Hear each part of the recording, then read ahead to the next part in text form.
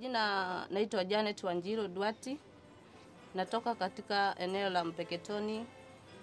E, na niliposikia hapa kuna project inaanzishwa ina- inaitwa project ya kutengeneza Lamu Port, nilikuwa bado niko chini sana kimaisha kule nyumbani, nilikuwa naendelea mambo ya kutafuta tafuta kazi mahotelini vile, lakini niliposikia tu hiyo kuna hiyo project nikaamua kuja kutafuta kazi.